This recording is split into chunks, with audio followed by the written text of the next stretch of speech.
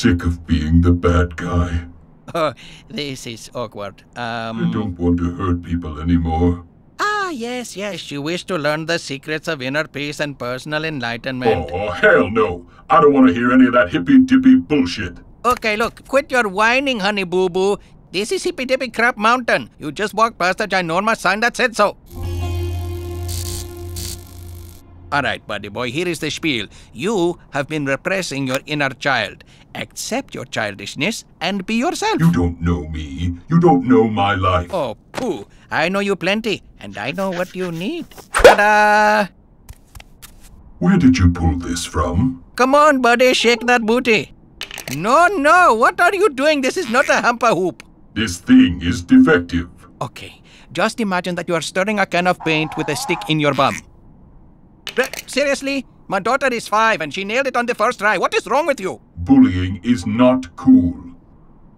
Oh my god, holy cow, you move your hips like a baboon making love to a beehive. What? That's not. No, wait, wait, you're like a polar bear making love to a porcupine. Or a computer geek humping his virtual girlfriend. Um. You are like a pole dancer with crabs. You move like a nerd pumping up your Princess Leia blow up doll. You are like a Catholic priest breaking in a choir boy. Or maybe you are more like the choir boy. Ooh, shiny. Ouch. Ugh. You, that was a little bit hostile. It didn't feel hostile.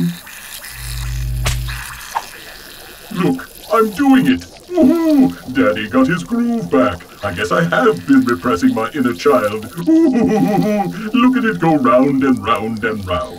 That is the last time I see someone without an appointment. Look, a dime. My Padme lies over the ocean. My Padme lies over the sea. My Padme lies over the ocean. Oh, bring back my Padme to me.